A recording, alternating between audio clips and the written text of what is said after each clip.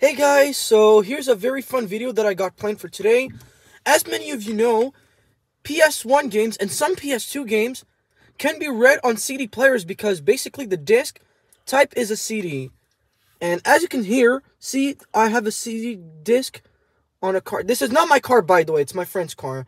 And shout out to him for letting me use his car because I don't have a driver's license.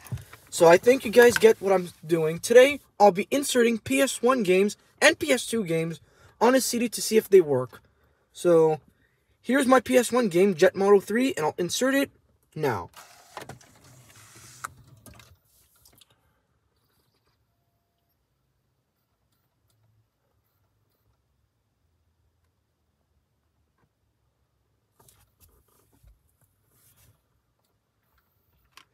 It's loading forever.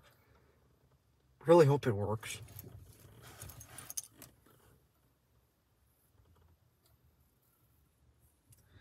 Unfortunately, it's giving me an error.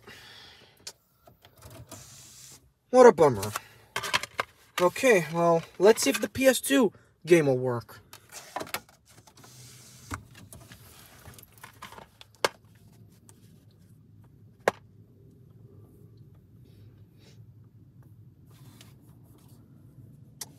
It's giving me an error as well. Okay, so more of the story is you can't read PS1 and PS2 games on a car CD drive. Thanks for watching and subscribe. See you guys next time.